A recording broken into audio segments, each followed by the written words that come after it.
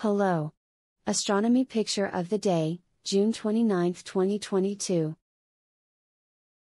Today's video is about solar system family portrait. Yes, but have you ever seen all of the planets at once? A rare roll call of planets has been occurring in the morning sky for much of June. The featured fisheye all sky image, taken a few mornings ago near the town of San Pedro de Atacama in Chile, caught not only the entire planet parade, but the moon between Mars and Venus.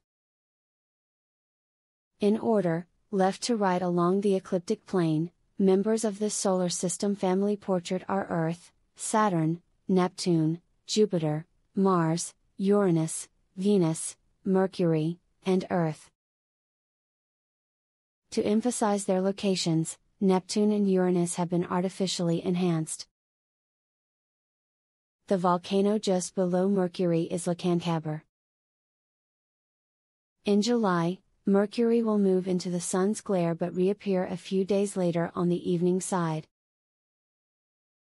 Then, in August, Saturn will drift past the direction opposite the Sun and so become visible at dusk instead of dawn. The next time that all eight planets will be simultaneously visible in a morning sky will be in 2122. Notable submissions to APOD Morning Planet Parade 2022 June. Thanks for watching. And don't forget to like, comment, and share.